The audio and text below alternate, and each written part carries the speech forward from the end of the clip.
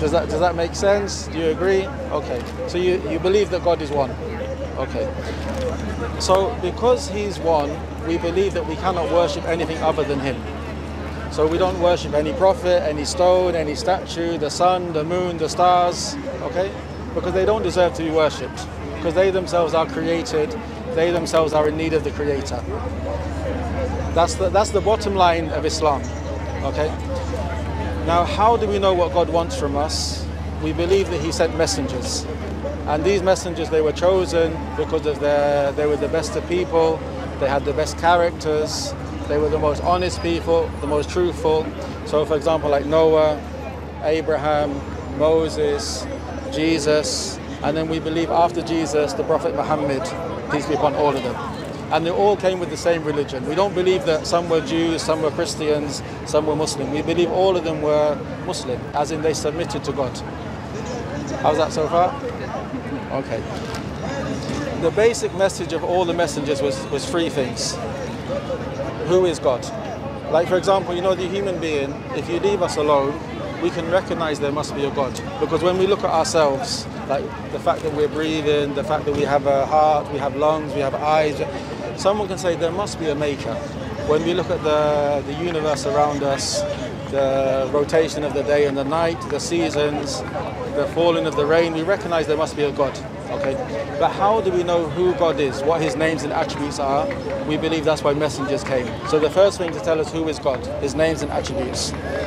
The second thing to tell us what does God want from us, like what has God commanded and what has God forbidden. Which way do we have to follow to get to God? That's the second thing. And the third thing is that when we leave this world, when we die, which obviously is guaranteed for everyone, when we leave this world, what is what is going to happen to us? What happens in the, the unseen, which we believe is you know paradise or hellfire, but according to how we live this life. So this is the basic message of uh, Islam. Okay. Um, do you have any questions or anything that's stuck in your mind, or don't don't be shy. You can ask anything. Okay. Can I just explain the basis of Islam? Okay. The basis of the Islam, we believe in, in six things. We believe in Allah. We believe in one God. We believe in Him, that He alone is the Lord. He is alone is the creator, alone is the sustainer, He alone owns everything. Then we believe in the only He deserves to be worshipped. And we do not worship anything which is worshipped other than Him, we say this in falsehood. Whether people worship Muhammad, whether people worship Jesus, an angel, we say this is falsehood and rejected. Okay? And we believe in His names and attributes. That's the first thing we believe in. Second, we believe in angels. That God has created angels, Allah has created angels, and they have different roles to bring the rain, to place a soul in the mother's womb, to take the souls at the time of death, angels over the hellfire, angels over the uh, paradise, and angels who bring the message. Then we believe in the books. We believe that Allah has sent books. So we believe, you know, Moses was given a book, David was given a book, Jesus was given a book, but we believe these previous books have been lost or forgotten or changed. So the last book, the Quran, has come to the last messenger, and this is for all mankind. So that's the we believe in Allah, we believe in the angels, we believe in the books, and we believe in messengers, which I explained. Then important, the fifth thing we believe in is the last day. We believe that we are going to die, and we're going to go into the grave, and we're going to be questioned. Eh, All mankind is going to be asked three questions in the grave: Who is your Lord? What is the way of life you followed? And who is the messenger sent to you? And then after that, there's going to be the day of judgment. On the day of judgment, it's going to be a difficult day. You know, our family, our friends, our wealth, our nationality will not help us. The only thing which will help us is uh, what we believe in and our righteous deeds. And then it's either paradise or hellfire. And then last thing we believe in is the decree. Everything is decreed by God. Everything is decreed by Allah. Whatever happens good or whatever happens bad is by His decree. That's our belief. Okay. Then we have five pillars of Islam. You might have heard of. Uh, five pillars of Islam. This is Islam is a complete way of life. Like how to marry, how to divorce, how to look after your children, how to look after your parents, how to treat your neighbors, how to do business, etc., etc. But Islam is built on five pillars. First is that what makes a person a Muslim is they say La ilaha illallah Muhammad Rasulullah. None has the right to worship but Allah and Muhammad sallallahu alayhi wasallam is his messenger. Second pillar is you know to pray five times a day. That five times a day a Muslim you know we work, we study, we have families, but five times a day we stop what we're doing and we uh, turn ourselves to our creator and worship him and this is for our benefit. He, he is not in need of us. This is for our benefit that we remember him. You know, then you find tranquility. So that's pray five times a day. Then charity. Someone who has wealth, which is collected for over a year above their needs, 2.5% has to be given to the poor.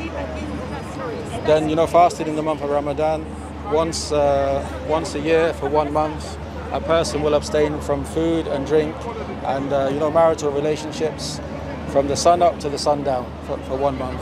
And then lastly, you know, Hajj, pilgrimage. This is performed once in a lifetime for every Muslim. So that's the basis of Islam. How does it sound? Sounds a lot. There's a lot of it. Yeah, because it's, it's a complete way of life. And also, life is a test. You know, many people say they believe in God, but that belief has to be tested. And that, that test is by being given commandments and being given uh, prohibitions. So, as opposed to you know some religions, they say you just believe and that's it. And then, like for example, I mean this is a, a Christian country, and as you can see, I'm English.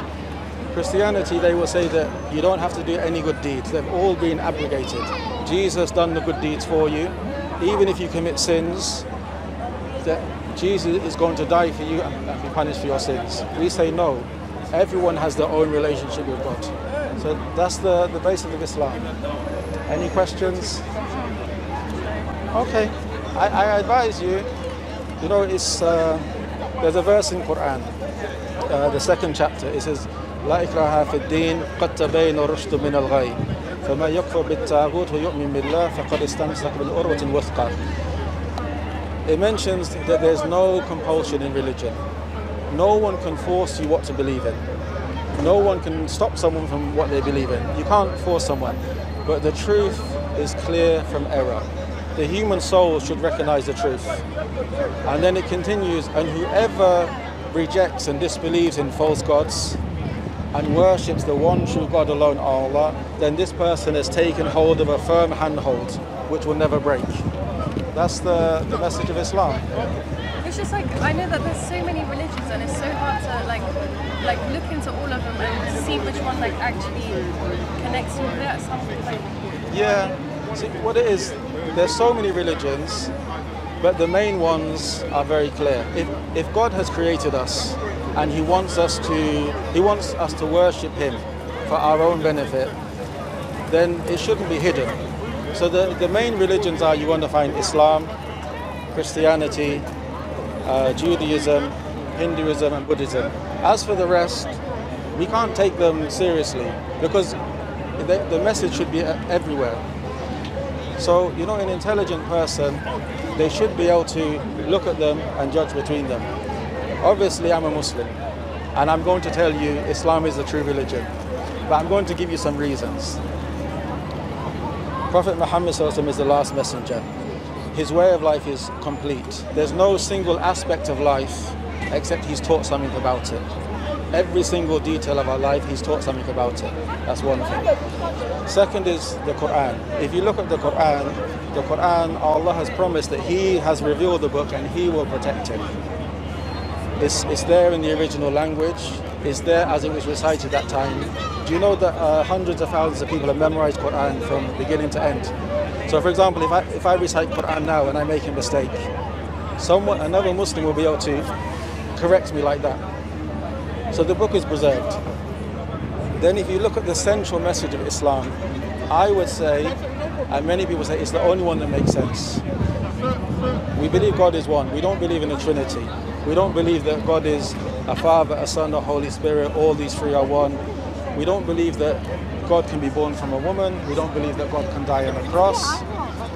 If you look at Judaism, even though it has many things which are similar to Islam, Judaism teaches that you have to be from this particular family.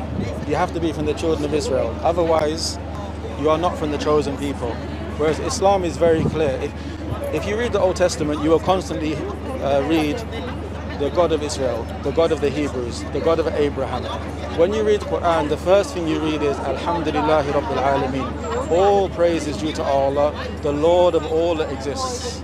We believe Islam is for everyone, all mankind. The first command in Quran it addresses يا الناس اعبدوا ربكم الذي خلقكم والذين من قبلكم لعلكم تتقون.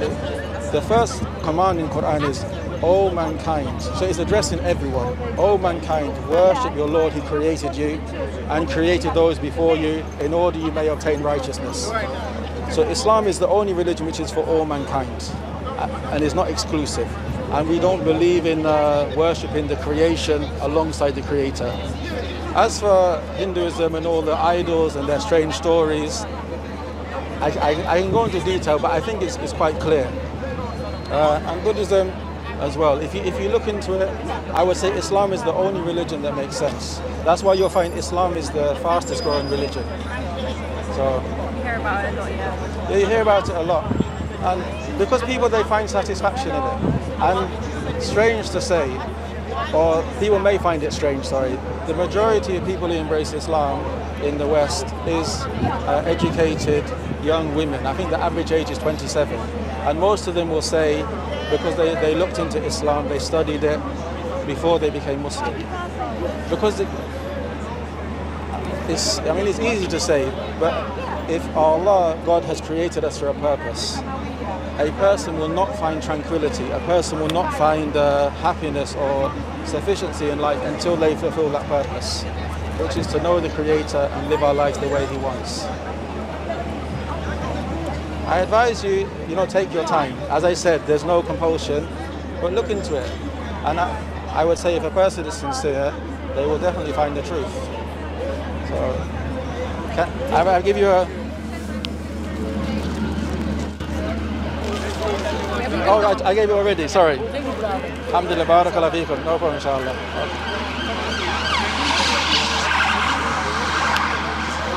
وعليكم ورحمة الله كيف حالك بخير الحمد لله very good. Yeah, I'll say like after 2.30 and then, but in the winter we'll, we'll come a bit earlier. sorry? Any yours? Oh, sure, sure. see the thing is you're you're looking at a microphone he's looking at 280 pounds